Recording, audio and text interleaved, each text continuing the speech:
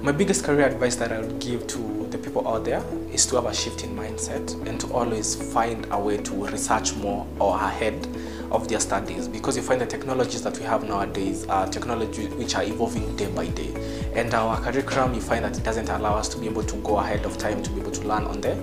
few new developments that we have so i would like to urge everybody out there to find a way to do more research on the current trends that we have in technology and to adopt and start their research so that once they are done with school, they can always be very marketable in their